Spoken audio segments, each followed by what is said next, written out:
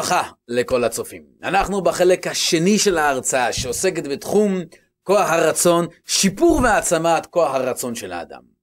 עוד נקודה שחשוב לזכור אותה, שמחשבות שחוזרות על עצמן שוב ושוב מקבלות עוצמה חזקה יותר ממה שהן היו בהתחלה. לדוגמה, אדם שעולה על המטוס ומתחיל לחשוב על התרסקות המטוס, ואז הוא מנסה להרגיע את עצמו. לא, זה לא יקרה. לא, זה לא יקרה. הכל יהיה בסדר. המטוס לא יתרסק, המטוס לא יתרסק, המטוס לא יתרסק. בינתיים, האדם חושב על זה יותר ויותר.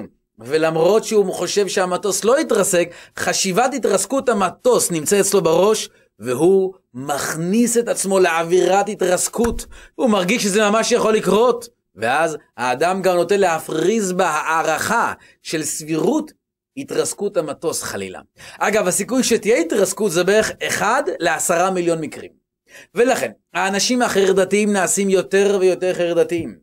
לכן הפתרון הפרדוקסלי הוא שדווקא כשאנחנו מפסיקים לנסות לשלוט באותן מחשבות ותחושות לא רצויות, כשאנחנו מנסים להפסיק להדחיק אותן, אז הן מאבדות מהכוח והמשמעות שלהן אותן מחשבות. דווקא הרשות שאנחנו מעניקים למחשבה שלנו, לחשוב את המחשבות, זה מה שמנטרל את הכוח של המחשבה השלילית.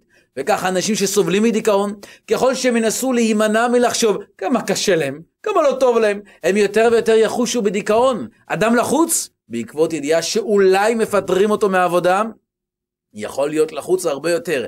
אם ננסה לומר לו שוב ושוב, אל תהיה לחוץ, אין לך סיבה להיות לחוץ, תירגע, אל תחשוב על הפיטורים, וכך הוא יהיה יותר ויותר לחוץ. יותר נכון יהיה לומר לו, שאם יפטרו אותך, וזה לא נעים, וזה באמת יהיה תהליך קשה, ואז האדם יאמר לעצמו, מה המשאבים שיש לי בהווה? איך אני יכול להתמודד עם הפיטורים? איזה עבודה זמנית בינתיים תקבל אותי? איך אני מסביר לבני המשפחה על הפיטורים? סגנון שאלות כאלה מנחות את החשיבה לכיווני פתרון הבעיה. מחשבות כאלה אלו מחשבות שיש להם הרבה יותר סיכוי להרגיע את האדם מאשר מחשבות שמנסות להדחיק ולהתעלם מהמציאות המפחידה.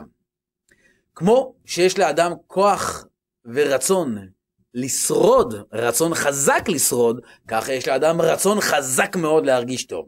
כמו שאדם ישקיע אנרגיה בלתי רגילה לברוח מנמר שרודף אחריו, כך הוא ישקיע אנרגיה להרגיש טוב ולהימנע מהרגשה רע. לכן אפשר לראות אדם שפיטרו אותו מהעבודה, והוא הולך לעשות הרבה קניות, לתגמל את עצמו רגשית על זה שפיטרו אותו מהעבודה. לדוגמה, עשייה שהיא כנראה לא מהדברים הנכונים לעשות. בשלב הזה של החיים, או אנשים לחוצים שרוצים להפחית את התחושה הלא נעימה, מה הם עושים? אוכלים הרבה. רק 16% מהאנשים שסובלים מלחץ ומרגיעים את עצמם על ידי אכילה אמרו שזה באמת עזר. לרוב, תפקוד כזה לא עוזר. זה עוזר לדיאטנים או כל מיני יועצי תזונה, מה שמביא קצת יותר מטופלים.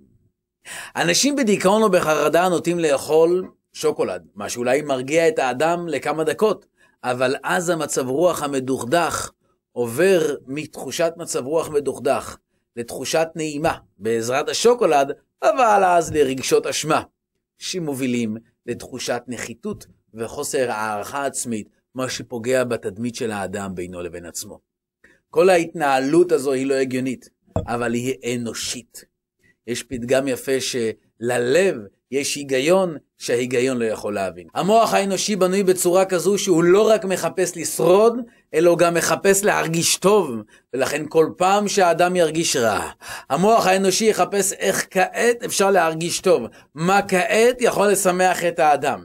אם לדוגמה האדם כועס, ואז פונה לאוכל להירגע, זה כי המוח יוצר תחושה שיש רק מסלול אחד שיאפשר לאדם להרגיש טוב, ולכן אותו אדם מרגיש כפוי כעת לאכול משהו. אחת הסיבות לכך שבני האדם שבורכו בכל כך הרבה היגיון, שמבין שחשוב לאכול בריא, שחשוב לשמור על קשרים נכונים עם אנשים בעבודה, שחשוב להשקיע בשיפור יכולת החשיבה שלנו, שחשוב להשקיע זמן איכות עם הילדים. אותם אנשים לא מצליחים להפעיל את כוח הרצון שלהם. למה? לא פעם זה בגלל שיש להם יותר מדי היגיון. היגיון שאומר שאם לא נצליח היום, נעשה מחר, או ממחר נפסיק לעשן, או ממחר נתחיל בתזונה בריאה, או כעת אני לחוץ בכמה פרויקטים ומיד אחר כך אני מתחיל להשקיע בילדים. בגלל שאנחנו חכמים ויכולים לחשוב בצורה משמעותית על העתיד. לכן אנחנו לא תמיד מצליחים להתחייב להחלטות שלנו. לכן אדם גם לוקח הלוואות שלא בטוח שיוכל להחזיר. הוא כעת לוקח הלוואה, הוא משלה את עצמו שהוא עוד ישיג את הכסף. הוא כל כך מרגיש טוב בהווה. יש לו מערכת חשיבה הגיונית שמהתלת בו ומשכנעת אותו שיוכל בעתיד עוד להחזיר. יש לנו היגיון שהוא בהקשר הזה בעוכרינו. אחת הסיבות שבני אדם כל כך נגררים אחר סיפוקים מיידיים, היא בגלל שמערכת התגמול שלנו במוח לא התפתחה ברמה כזו שהיא תבחר בסיפוק לטווח הרחוק, אלא בעיקר בסיפוקים לטווח קצר. כשילד קטן, מה שחשוב לו בדרך כלל זה לאכול, לשחק, כאן ועכשיו. מערכת התגמול המיידית של האדם חזקה הרבה יותר מאשר מערכת התגמול לטווח ארוך. מערכת התגמול לטווח קצר לא כל כך מדברת אל האדם כמו מערכת התגמול לטווח ארוך. מחקר שנעשה, לקחו צנצנת סוכריות בחברות מסוימות ושמו את אותן סוכריות בתוך אותה צנצנת במקום גלוי. במקום אחר, מקום עבודה אחר, שמו את הצנצנת בתוך הארון, עם סוכריות בפנים. הדבר היחיד שצריך לעשות בחברה השנייה, זה לפתוח את הארון בשביל לקחת משם את הסוכריות. והתברר שאנשים שראו את הסוכריות לקחו פי שלוש יותר סוכריות מאשר אלו שאצלם הסוכריות היו במגירה או בארון. ההבדל היחיד היה שאלו שראו את הסוכריות ואלו שלא ראו את הסוכריות מידת הגירוי שלהם הייתה שונה. למרות שאלו שלא ראו, לא נדרש מהם מאמץ מיוחד בשביל לקחת סוכריות, בסך הכל לפתוח ארון או לפתוח מגירה. בכל זאת, זה שהם לא ראו, זה הפחית את החשק להושיט יד ולקחת סוכריה. ולכן, יהיה גם לנו קל יותר אם נחלק את עצמנו לשני חלקים בקשר לעניין הזה.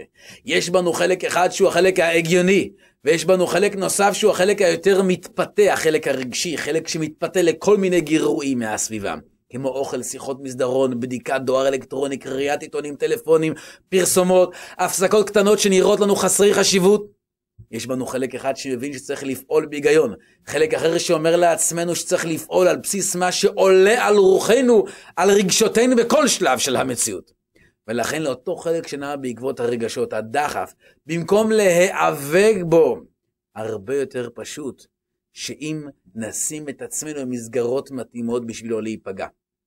לדוגמה, אם החלטנו על תזונה בריאה ואנחנו לא מצליחים, אז פשוט לא נכניס אוכל לא בריא הביתה. לא נאמר לעצמנו שזה בשביל האורחים שיגיעו, כי החלק הרגשי שבנו לא יאפשר לחלק ההגיוני שבנו לחכות עד שיגיע אורח. ואז כבר הסוכרות ייגמרו עוד הרבה לפני שיגיעו האורחים, כנראה שנצטרך לקנות עוד קופסת סוכריות. עוד נקודה שיכולה לחזק את כוח הרצון של האדם, זה לחכות עשר דקות לפני פעולה שאנחנו רוצים לעשות. אם נחכה עשר דקות, לא נפסיד, או ניפגע. לדוגמה, לאכול, לדבר עם מישהו, אנחנו מחכים רק עשר דקות לפני. אם אנחנו יודעים שאם נחכה עשר דקות והארוחה כבר לא תהיה, או הבן אדם כבר לא יש שנוכל לדבר איתו, אז אין בעיה, נדבר איתו מיד, אבל באותן הזדמנויות וסיטואציות שלא נפסיד כלום, אז כן כדאי. ככה אנחנו מרגילים את המוח שלנו לרצות דברים, אבל לא מיד, לא כאן ועכשיו. אחת מהטכניקות, לדוגמה, להתגבר על עישון היא האמרה שאדם אומר לעצמו, כן, אני מעשן, אבל עוד עשר דקות. כשאדם מרגיל את המוח שאפשר לחכות עשר דקות, בהמשך הוא יוכל לחכות גם 12 דקות, גם 15 דקות, גם 20 דקות. חוץ מזה, זה שאדם לא מצליח לחכות עשר דקות, זה בגלל שאדם חש תחושת דחף, לחץ, לתת פורקן מיד הדחף כאן ועכשיו. לפעמים האדם גם משכנע את עצמו שהוא באמת כבר לא יכול לחכות. אבל כשאדם מרגיל את עצמו לחכות עשר דקות, הוא יוצר מערך חדש במוח שלו, מערך שאומר נכון, יש דחף, יש לחץ. לדוגמה, לאכול מאכל טעים עכשיו. יחד עם זאת, אפשר לשרוד ולהמשיך לחיות למרות הדחף והלחץ. נקודה אחרונה, חשובה מאוד, שזה הופך את האדם גם לאדם בעיני עצמו. אדם עם זהות של אדם שמסוגל להתאפק עשר דקות. אם זו התדמית של האדם בעיני עצמו, אז זה כבר אומר שהוא בכיוון הנכון, כיוון שהתדמית הנכונה של האדם תנחה אותו למקסם את היכולות שלו במה שקשור לכוח הרצון. אדם שאומר לעצמו, אני לעולם לא אעשה את זה עוד, לדוגמה, לעולם לא יעשן יותר, זה יכול להיות קשה מדי, מה שיוביל את האדם להיכשל ולא להצליח. כמו שאומר הגאון מווילנה, על הפסוק, איוולת אדם תסלף דרכו, ועל השם יזעף ליבו. כלומר, האדם לוקח על עצמו אתגר גדול מדי. לדוגמה, אדם מעשן, הוא מהיום להיום אומר לעצמו, זהו, אני אפסיק לעשן. זה יכול להיות פרויקט נכון מאוד, אבל גדול מדי אם הוא לא בהדרגתיות. אז הוא לא מצליח, והוא מנסה שוב ושוב ולא מצליח, הוא מנסה שוב ושוב ולא מצליח. בסוף הוא מאבד תקווה והוא מתייאש. זו איוולת אדם תסלף דרכו, ועל השם, על בורא עולם, יזעף ליבו. האסטרטגיה הלא נכונה שלו בשביל להיגמל, היא זו שהפילה אותו. ואז הוא מאשים אחרים בכך שהוא לא הצליח. למה לא העניקו לי? למה לא אהבו אותי? למה לא תמכו בי? למה בורא עולם ברא אותי כך? ובשעה שאם הוא היה פועל בהדרגתיות, שזו גם התנהלות נכונה, זה היה מרומם את האדם. זה מה שהיה מקדם את האדם. כמה שלבים קדימה. בני אדם בדרך כלל פחות מעריכים את הרווח העתידי שלהם ביחס לתגמול שההווה יכול להעניק, הזכרנו את זה מקודם. זו עובדה שתשפיע רבות על מערך הבחירות שלנו בחיים. מהמקום הזה, בואו ונפנה אל כוח הרצון שלנו. אנשים שמצליחים להמחיש לעצמם איזה הישגים הם היו רוצים להשיג, בין אם זה לימודיים, כלכליים, חברתיים או כל תחום אחר. ברגע שיש להם תמונה ברורה במוח שלהם, והם משכנעים את עצמם שזה כדאי, זה משתלם, יהיה להם קל יותר להתגבר על כל מיני הפרעות שבדרך.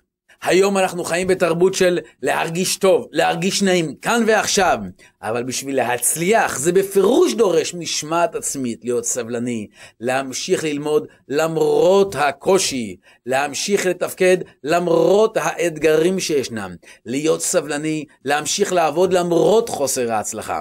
אני אומר שאדם חייב להיות עקשן במקום שהוא רוצה להצליח. זה נכון שלפעמים האדם נדרש לזהות גמישות ולדעת שהכיוון הזה הוא לא כיוון נכון, אבל בדרך כלל ההצלחה דורשת את העקשנות והנחישות של האדם. אדם יכול לסבוע את הקושי של משמעת עצמית לפני שהוא מגיע להישגים, או שיכול לסבוע את הכאב שבחרטה אחרי שהוא עשה את מה שהוא רצה לעשות, את מה שהדחף הניע אותו לעשות, אבל זה לא היה נכון לטווח ארוך. הזמן עבר ולעולם לא יחזור, והאדם נשאר בעיקר עם החרטה שלו.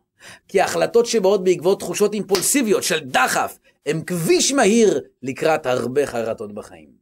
כאב המשמעת עצמית הוא הרבה פחות כואב מאשר כאב החרטה שמגיע בעקבות חיים ללא משמעת עצמית. כי אם אנחנו רוצים דברים שוב ושוב ולא משיגים את זה בחיים, ואפילו לא בכיוון של להשיג את זה, זה אומר שמחכים לנו חיים לא מאושרים. מצד שני, אדם שיש לו שאיפות, והוא מאמין שיש סיכוי שיום אחד החלומות האלו יתגשמו, זה מה שעושה את החיים לכל כך מעניינים, לכל כך מרתקים. אני לא מתכוון לתקווה שאולי החיים ישתנו, או למשאלת לב, אלא למוטיבציה, לרצון בוער שעוזר לאדם לתפקד, לא לחכות, לעשות ולהתגבר על כל מכשול שיהיה בדרך. מדובר על שאיפה אדירה שלא סומכת על איזה כרטיס הגרלה שיביא את האושר בחיים. האדם כל כך מאמין שהוא ישיג את זה, הוא לא זקוק לכרטיס הגרלה זה או אחר, אלא הוא מתאמץ, הוא מתמקד, והוא עושה את המקסימום. הוא לא סומך על הנס. אני לא אומר שאין ניסים, אבל הוא לא סומך שהנס יגיע, ואולי הוא יזכה בהגרלה, אלא הוא זה שיוצר לעצמו את המפעל שיפיק את המקסימום של מה שהוא רוצה בחיים שלו. אם האדם לא ישקיע ויתאמץ, לרוב האנשים שמסביבו לא יעזרו. האדם אין לו רצון, זה דרך כלל האדם גם אין לו שאיפות. אחד הדברים שגורמים לאדם שלא להביא לידי ביטוי את כוח הרצון שלהם, זה שאין להם מספיק שאיפות. האנשים שאומרים, החיים כבדים עליי, קשה לי, אני לא מצליח להרים את עצמי. אני אפילו גפרור לא מצליח להרים כשאין לי מצב רוח. כשיגישו להם אוכל טעים שהם אוהבים, הם בדרך כלל לא יאמרו, קשה לי להרים את המזלג ולכן אני לא יכול לאכול. לפעמים הם יאכלו, ואפילו ירשו לעצמם לפרגן לעצמם ולבקש מנה נוספת. לפעמים אנשים ללא רצון בכלל, לא נכון שיתחילו לשאוף בגדול, על משפחה, עבודה, על בית, אלא טוב יהיה שהם ירשו לעצמם פשוט ליהנות מהנאות פשוטות של החיים, לחוות אותם. נכון שלא פעם מרבים לומר שאדם צריך להסתפק במועט, וזה דבר מצוין. יחד עם זאת, יש אנשים שאיבדו את כוח הרצון שלהם, וכשאדם איבד כוח הרצון שלו, אז לפעמים כדאי לעורר אותו מחדש. ואז כשהוא אוכל, להתרכז באוכל, לנסות ליהנות מהאוכל. אדם שותה, אותו דבר. אדם בדיאלוג עם אנשים, שינסה ליהנות, לחוות, להתרכז בכאן ועכשיו. למרות שאדם רגיל שלא סובל מהבעיה הזו, לא בטוח שהיינו ממליצים לו את אותה המלצה, אבל אותו אדם שאין לו שום כוח רצון, כדאי שיתחיל להתרכז, לחוות ולהרגיש את עצמו כמה שיותר. מהמקום הזה הוא יותר ירשה לעצמו לשאוף, הוא יותר ירשה לעצמו לרצות, מה שיניע אותו למקום טוב יותר בחיים. עוד נקודה חשובה. אדם שהוא מלא בדאגות על העתיד, או חרטות על העבר, כעסים על העבר, או מקנא במישהו אחר, או כל מיני תחושות ורגשות שליליים, לא יוכל לאפשר לעצמו להביא לידי ביטוי את כוח הרצון שלו במלואו. כי אדם שאוגר שוב ושוב רגשות, יכול להביא את עצמו בדרך כלל לידי מצב של שחיקה. אדם שאוגר עוד ועוד רגשות, טוב לשחרר אותם החוצה. לפעמים לקחת שעה של רוגע ולרשום את כל הרגשות. אני מקנא פלוני אלמוני כי יש לו כך וכך הישגים ואני מרגיש מאחור. אני כועס על כך וכך, או אני מתחרט על האירוע הזה והזה שלא עשית את הצעד הנכון או את ההחלטה הנכונה. כלומר, האדם נותן דרור לרגשות שלו. זה חשוב, שהרגשות לא ינעלו יותר מדי, יצברו עוצמה וינעלו את האדם כמו יחנקו אותו. לפעמים האדם כל כך לא מאמין לעצמו, הוא אפילו לא יכול לצייר את איכות החיים שלו בצורה אחרת. לכן נכון יהיה מדי פעם להרשות לעצמנו לחלום, אם נאמר, שאין לנו בעיית זמן וכסף בחיים שלנו. מה אנחנו עושים כל יום? איך אנחנו מנצלים את החיים שלנו? איך אנחנו מנצלים את ההיבט היצירתי שבנו? איך היינו מביאים מידי ביטוי את הרוגע שלנו בחיים? זה טוב, בשביל להחדיר למוח שלנו סיפור חדש שלנו על עצמנו. שלא נשתכנע יותר מדי שאנחנו חלשים ולא יכולים, אלא אדרבה, להכניס סיפור חדש, משמעות חדשה של החיים שלנו בעיני עצמנו. כאלו סיפורים, עוד אחד ועוד אחד, בהדרגתיות, ישברו את החומה שנמצאת במוח שלנו, שלא מאפשרת לנו לרצות, לשאוף, להתקדם ולהגיע להישגים. בהצלחה.